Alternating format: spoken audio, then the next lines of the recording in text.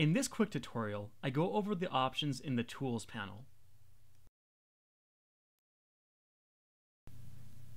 In WordPress, you have the ability to import previous posts from different blogs into your new website, or you can export all your posts from your WordPress blog to use in another site.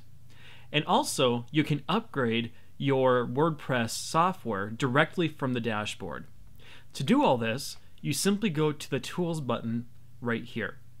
And you'll have your three options. First, you can import, which allows you to import, as I said, posts from any of these softwares or blog types. You have WordPress, you have RSS, you have Blogger, and so on. So if you are looking to move like older content to your new WordPress website, you would go through the steps here, and that's how you would do that. Exporting allows you to do the opposite of that. You export your website out and then you download it to your computer so that you can import it into another website later on.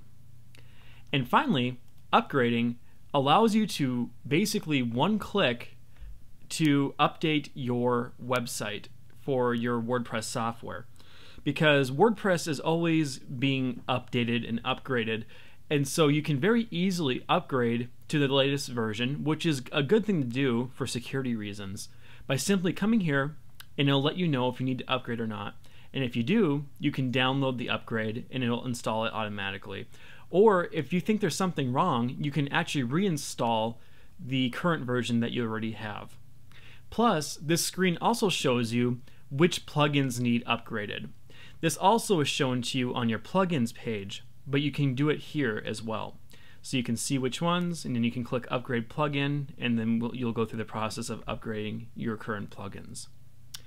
Anyway, that is just a quick overview of what the tools options can do for you. I have more tutorials coming up, so stay tuned.